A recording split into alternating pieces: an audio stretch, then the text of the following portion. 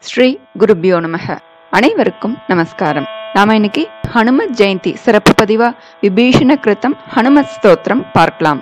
இந்த ஸ்தோத்திரம் விபீஷணன் ஹனுமான போற்றி இயற்றப்பட்ட ஸ்தோத்திரம். இது விபீஷணனுக்கும் கருடனுக்கும் நடந்த சம்வாதம் உரையாடல். இந்த ஸ்தோத்திரம் சுதர்ஷன சம்ஹிதையில இருக்கு. இந்த ஹனுமத் ஸ்தோத்திரத்தை பாராயணம் செய்யறதுனால என்னென்ன பலன் அப்படின்னு அதோட முடிவுல உள்ள பல ஸ்ருதியில சொல்லப்பட்டிருக்கு. உங்களுக்கு பேய் பிசாசு விஷ ஜந்துக்கள் மூலமா இல்ல வேற ஏதாவது துர்சக்திகள் மூலமா ஏதானும் பயம் ஏற்பட்டிருந்தா மனசுல அந்த அஞ்சனை மைந்தன் வாயு புத்திரன் ஆஞ்சநேயர் நினைச்சுண்டு இந்த ஸ்தோத்திரத்தை பாராயணம் செய்யறது மூலமா எல்லாவித துர்சக்திகளும் தூர விலகி போகும் அவருக்கு எந்த விதமான பயமும் ஏற்படாது அப்படின்னு அதுல சொல்லப்பட்டிருக்கு. உங்களுக்கு ஏதாவது காரிய தடைகள் ஏற்பட்டிருந்தா இந்த ஸ்தோத்திரத்தை தினமும் மூன்று வேளை காலை மதியம் மாலைன்னு இந்த ஸ்தோத்திரத்தை சொல்றது மூலமா காரிய தடைகள்லாம் நீங்கி எல்லா காரியங்களும் வெற்றி உண்டாகும் ஜெயம் உண்டாகும். ஒருவருடைய அனைத்து விருப்பங்களும் நிறைவேறும். கொடிய விஷஜுரத்னால பாதிப்பா?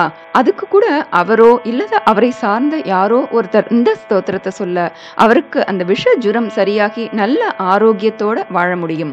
எதிரிகள்னால பயமா எதிரிகள்னால பிரச்சனையா? அதற்கும் இந்த ஸ்தோத்திரத்துல தீர்வு இருக்கு. அந்த வாயு புத்திரன் ஆஞ்சநேயன மனதார நினைத்து இந்த ஸ்தோத்திரத்தை பக்தியோட பாராயணம் செய்தா எதிரிகள்லாம் தூர விலகுவார்கள். அவர்கள் அனைத்து சாதனைகளையும் படைப்பார்கள் அப்படின்னும் இந்த ஸ்தோத்திரத்தோட பலஸ்ருதியில சொல்லப்பட்டிருக்கு. ஸ்தோத்திரத்தை பார்க்கலாம். விபீஷணன் அருளிய ஹனுமத் ஸ்தோத்திரம். ஸ்ரீ ஹனுமத் ஸ்தோத்திரம் விபீஷண கிருத்தம். नमो हनुमते तुभ्यं नमो मारुतसूनवे। नमः श्रीरामभक्ताय श्यामास्याय च ते नमः। नमो वानरवीराय सुग्रीवसख्यकारिणे। लङ्काविदाहनार्ताय हेलासागरतारिणे सीताशोकविनाशाय राममुद्राधराय च। रावणस्य कुलच्छेदकारिणे ते नमो नमः। मेघनादमकध्वंसकारिणे ते नमो नमः। अशोकवनविध्वंसकारिणे भयहारिणे। वायुपुत्राय वीराय ह्याकाशोदरगामिने। वनपालशिरश्चेदलङ्काप्रासादभञ्जिने ज्वलत्कणकवर्णाय दीर्घलाङ्गूलधारिणे सौमित्रिजयदात्रे च रामदूताय ते नमः।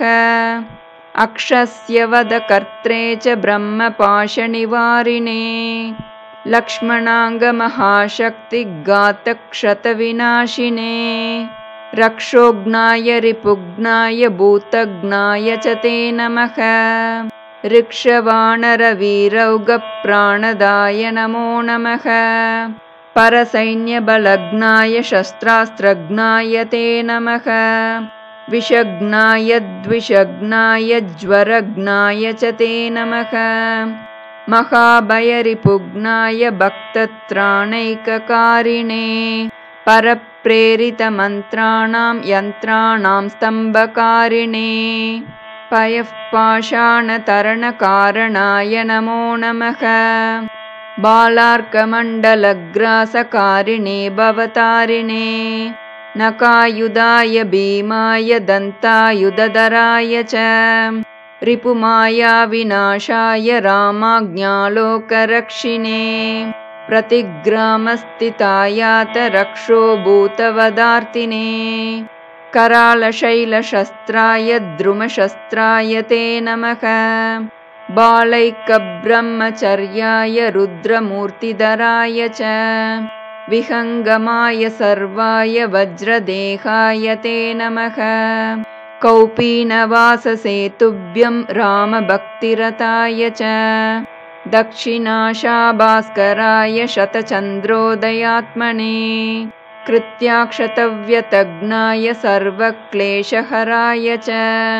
स्वाम्याज्ञापार्थसङ्ग्रामसङ्ख्ये सञ्जयदारिणे भक्तान्तदिव्यवादेषु सङ्ग्रामे जयदायिने। किल्किलाबुबुकोच्चारघोरशब्दकराय च। सर्पाग्निव्याधिसंस्तम्भकारिणे वनचारिणे सदा वनपलाहारसन्तृप्ताय विशेषतः। महार्णवशिलाबद्धसेतुबन्धाय ते नमः। वादे विवादे सङ्ग्रामे भये घोरे महावणे। सिंहव्याघ्रादिचौरेभ्यस्तोत्रपाठाद्भयं न हि दिव्ये भूतभये व्याधौ विषेस्तावरजङ्गमे राजशस्त्रभये चोग्रे तथा ग्रहभयेषु च। जले सर्वे महावृष्टौ दुर्भिक्षे प्राणसम्प्लवे पटे स्तोत्रं प्रमुच्येत भयेभ्यः सर्वतो नरः। तस्य क्वापि भयं नास्ति हनुमत्स्तव पाठतः। सर्वदा वैत्रिकालं च पठनीयमिदं स्तवम् सर्वान् कामान् अवाप्नोति नात्र कार्या विचारणा। विभीषणकृतं स्तोत्रं ताक्ष्येण समुदीरितम्। ये पठिष्यन्ति भक्त्या वै सिद्धयस्तत्करे स्थिताः। इति श्रीसुदर्शनसंहितायां विभीषणगरुडसंवादे विभीषणप्रोक्तहनुमत्स्तोत्रं सम्पूर्णम्।